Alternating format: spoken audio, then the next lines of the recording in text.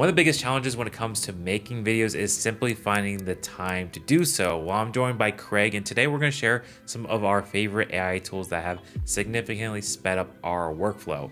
Craig, I want to talk about first planning and scripting the video because I think mm-hmm. If you can get this right, you can seriously speed up your whole entire process. Absolutely. Yep. And we all often preach here that the topic, you know, your idea, the big idea is one of your most important, if not the most important factor mm-hmm. in creating a successful video. And so this planning and scripting phase is huge. And we often use these AI tools to help us, you know, create better videos. Yeah. So let's talk about number one. Let's talk about Notebook LM, which essentially the way I would explain this is ChatGPT, but you can train it on which data you want it. Mm-hmm. So for example, you can basically attach any link as a source, and then the AI is going to use that based off whatever prompt you get it. So what kind of sources can you actually train Notebook LM on? Well, there's are uh, several different sources. We have Google Drive, Google Slides, links to websites, YouTube videos, or any like text you want to prompt it in. Amazing. And then you can even upload PDF files yes. right into Notebook LM. And so the way I have used it is when I'm trying to research a product or maybe a video topic. So, on one example, I was comparing the GoPro to the DJI. And typically, the way I would go about this is I would watch several different YouTube videos, get all the spec sheets, and order all the information in one mm-hmm. place. And so, this is a great way to organize all those things. I can place a shopping B&H link and have all the specs data. I can upload different creators comparisons. And it's not for me to copy or steal, but just kind of get a pulse on yeah. what people have experienced. Mm-hmm. And that's basically the pro- process I've always done before. It's just helping me do it a lot quicker. Mm-hmm. From there, you can ask Notebook LM basically any question yeah. like, what's the battery life difference? Uh, which one is better for this type of uh, mm-hmm. beginner? Which person would recommend the GoPro or pick up the Action 5 Pro? Mm-hmm. So I'm really just able to get really specific. Yeah. And I think what's the important thing to do is always fact check and Absolutely. make sure go back and it's never to fully replace what I'm doing. I'm definitely going to add in my own thoughts into yeah. the video, but just to get a good outline of what I want to yeah. discuss it's just a lot it's just super helpful it is kind of like a catch 22 where you're able to train it on your specific sources which is such a cool thing right. and you can give it the inputs that you specifically are looking for it to be trained on but then at the same time you got to hope and rely that the sources you're training the AI right. are accurate for this kind of content planning and this is a little bit step up above ChatGPT because if you just did the same thing in that it, you don't know where the sources are coming from it may lie to you about certain things or pull from an older model so mm-hmm. that data's not accurate. Inaccurate, yeah. So yeah, just give it. It gives you a nice outline to it go does. from, and then also do your due diligence. Yeah, and so in a creative way, I use this, which I found just absolutely fascinating was I actually did an entire audit of our course that we offer here at Think Media. If you don't know, we offer a course called Video Ranking Academy where we teach you how to rank your videos in YouTube search results and just create compelling content. So we have a course for this. And I actually went through literally our entire course library and I made notes about it and detailed, very detailed notes. This was 40, a 45 page PDF document yeah. that I created. And what I did is I actually trained Notebook LM on this PDF. And I asked it to create me a podcast episode about my notes. And it actually did this. And so this is one of the cool features. It can take resources and documents, convert it to an audio file, and it's an AI generated podcast conversation. It was both a male and a female voice, and they took my 40 page, 45 page document down into about a seven or eight minute podcast episode.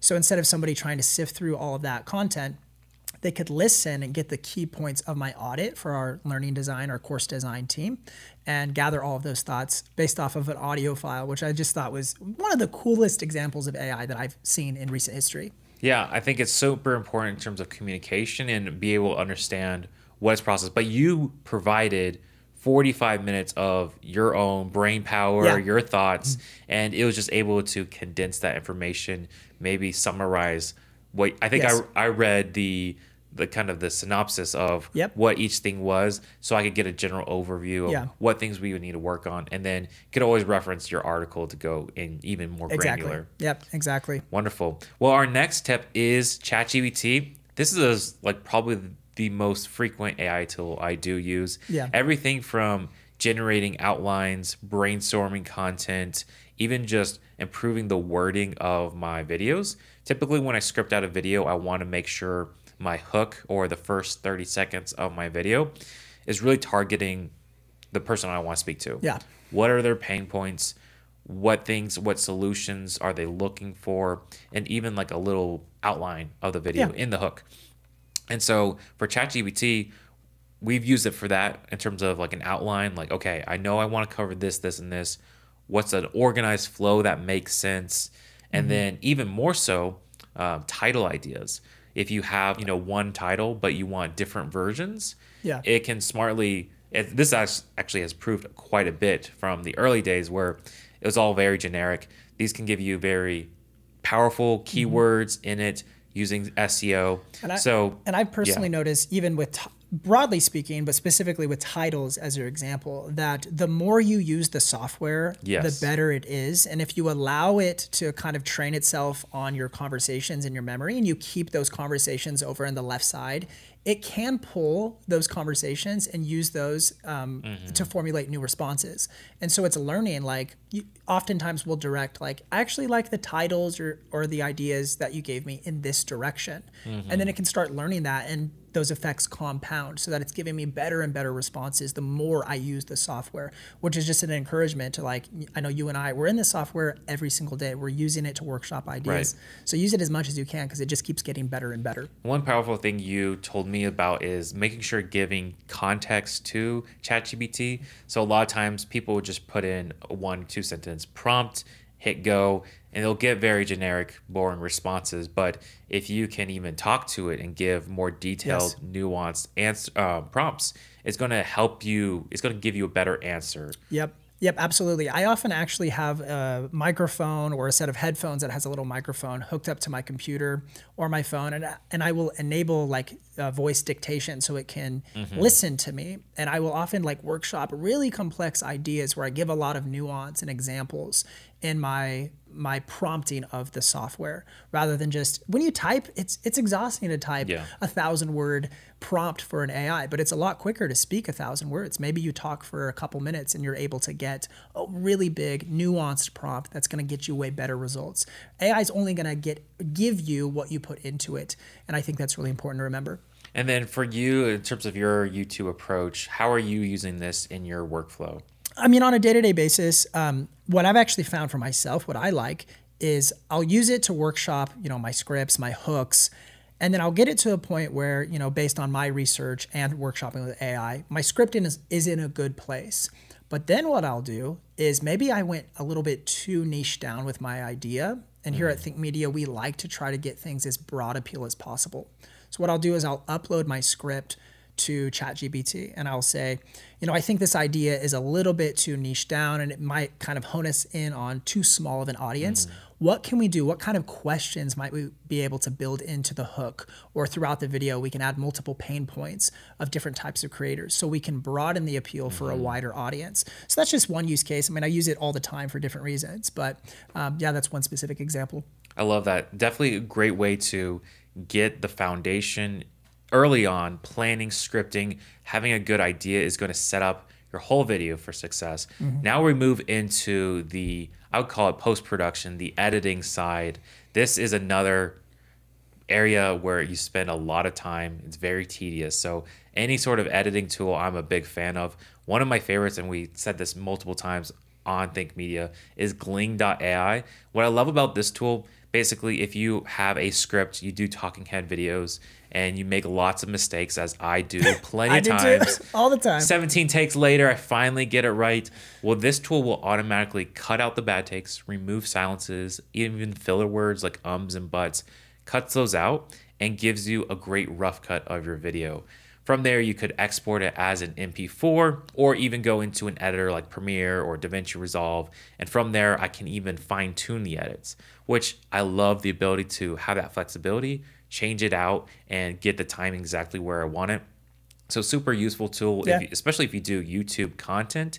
I'm in. It's just it's so powerful. You can actually get started for free by clicking the link in the description down below. Again, if you haven't tried it already, I would highly recommend it. This is probably the one tool that I use on every video and legitimately saves me hours per video. And so another editing tool that we have found that leverages AI to speed up your workflow is Autopod. So this is going to seamlessly sort of edit your podcast for you. You sort of give it inputs and camera feeds and you label and assign different speakers for your podcast, like Nate's mm-hmm. channel and Craig's channel. And then it's going to automatically switch your podcast for you, saving you a ton of time. Have you used this software before a little bit? So this is super interesting, and DaVinci Resolve just kind of got this feature, which I'll talk about later. Is listening through, switching, even if you did it in real time, if you have an hour long podcast, that's an hour of editing and maybe more. This can literally do it within minutes or seconds, cuts your podcast, and I would say it gives you a good rough cut, and then you can go in and polish it to Yep. your needs. And I always love a tool that allows me to be more creative. I don't want to do the tedious. I want to be. I want to do the fun stuff. Yeah. And so both of these tools are really nail that. And then talking a little bit about DaVinci Resolve 20, they're just rolling this out. And what's cool about that is it actually cuts not only on the audio, but it visually sees who's talking and will cut to that. Yep. So even if you have mixed audio, and that means like your microphone audio and my microphone audio going to the same file, Yeah.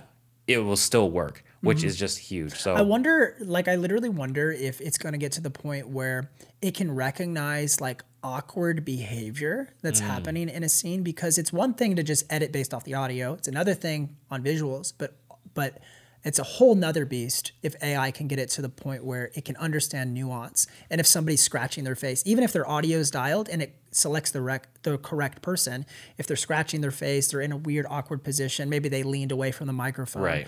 I'd be interested to see where AI goes.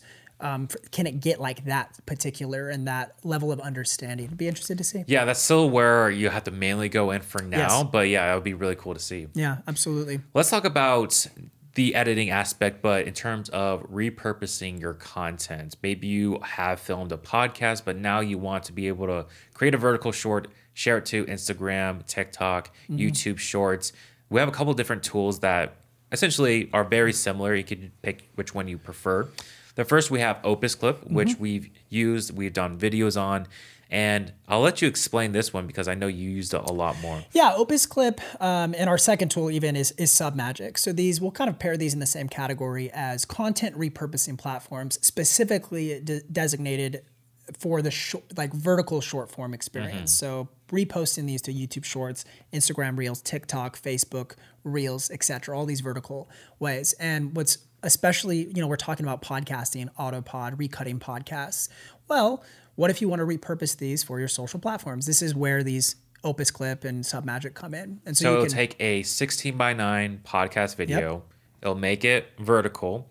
It'll also add captions and even B roll now Yes. automatically, and will give you a nice 60 to maybe even longer short that can be easily shared. Exactly. That'll help you grow your audience and grow on these different platforms as well. Yep. So super cool. Great way to leverage your content you already have. Even Mm-hmm. if you have libraries of content, you could easily use this tool and pick out a few ones that Yeah. resonate and you can share with your audience. And typically, the way it works is most of these short form repurposing, it works the same way. You grab, you can sometimes upload an actual video file, but the easier way is if you already have content that's on YouTube, just grab a YouTube link of that long form video, copy that into Opus or Submagic. And then it's going to process the video for maybe 10 or 15 minutes. And that video could be as long as like one to two hours. And it's going to take that file and generate like 15 to 20 different shorts out of that file in a matter of seconds after the video finishes processing. And typically, I found that, you know, of 15 to 20 options, you're gonna get like four or five that are really good and then some that are a little bit worse.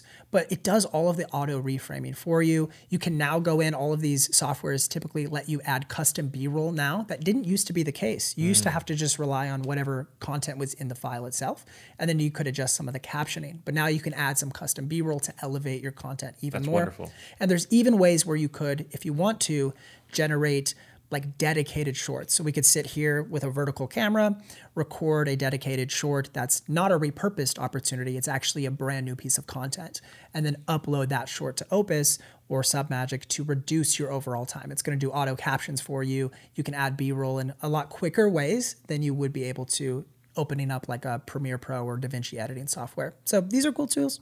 Anything to save you time as a creator, I think, is valuable because you can spend more time creating content, less time in post production trying to manage files. So many great tools. And if you want to learn how to make YouTube videos even faster, there are several different tips that I've learned in the content creation process. If you want to learn more about that, check out this video right here.